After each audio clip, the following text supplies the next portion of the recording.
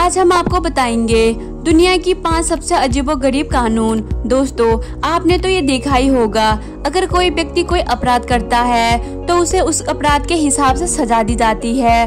पर कुछ देशों में ऐसे कानून भी है, जो काफ़ी अजीबो गरीब है, और आपको इसके बारे में जानकर काफ़ी हँसी भी आ जाएगी।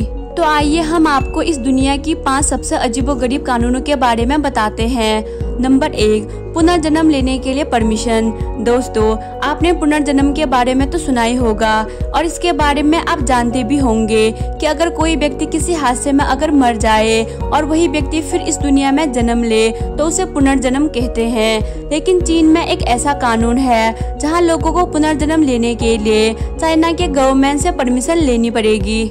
नंबर टू, पत्नी का जन्मदिन भूलने की सजा।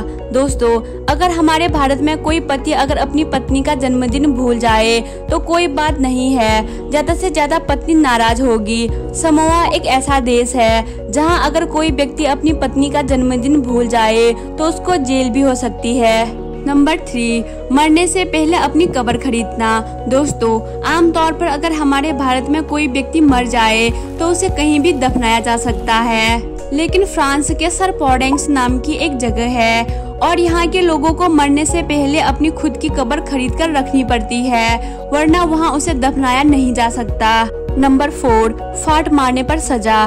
दोस्तों, हम भारतीय कहीं भी कभी भी फाट मार देते हैं और कुछ लोग तो काफ़ी शौक से फाट मारते हैं, लेकिन फ्लोरिडा नाम का एक ऐसा देश है, जहाँ कोई व्यक्ति वेडनेसडे को शाम छह बजे के बाद पब्लिक प्लेस पर फाट मारना गैर कानूनी है। नंबर फाइव, नाक साफ़ करने पर सजा।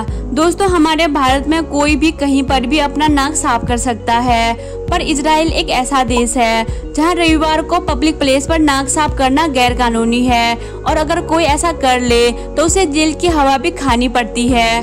तो दोस्तों, अगर आपको ये जानकारी अच्छी लगी हो तो अपने दोस्तों के साथ ज़रूर शेयर करें और आपको अपने स्क्रीन पर एक घंटी दिख रही होगी। उसे दबा दे ताकि जब भी मैं ऐसे इंटरेस्टिंग वीडियो अपलोड करूँ तो इसका नोटिफिकेशन सबसे जल्दी आपके पास पहुँच जाए।